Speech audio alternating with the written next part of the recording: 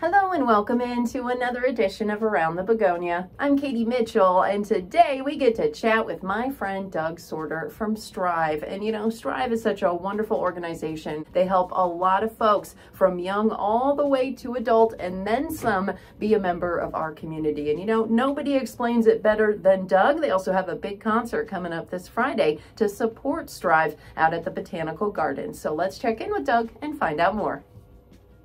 Hi, Katie. Yeah, we have a concert coming up uh, this Friday, June 18th. It's uh, down to Botanical Gardens. It's uh, James Williams and the Faith Peddlers.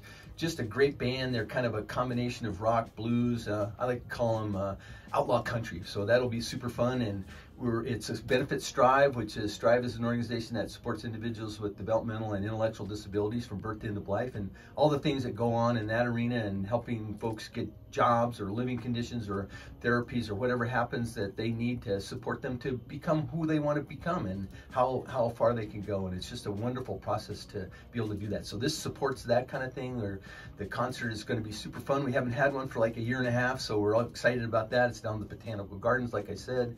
It's a cool spot down there when the sun starts to go down around seven and the breeze off the river comes in. So if you're fried out there with all these hot temperatures. I think the low is a 70. That's insane. So just come down there, enjoy that, kind of wander around with your glass of wine or your beer or sit and enjoy it and have food. And I mean, it's just, uh, it's, we're looking forward to just the fun aspects of this and just the enjoyable piece of being in a concert. I mean, come on, who doesn't want to do that? And these guys play so well and they're well known and we're just really looking forward to this whole thing. So get your tickets online at strivecolorado.org or get them at the Botanical Gardens, or just come at the last minute and get your ticket at the gate, and we'll be happy to sit you down, bring your chair and your blanket, because uh, it's all VIP seating, as I like to say, and uh, it'll be super fun. So thanks so much.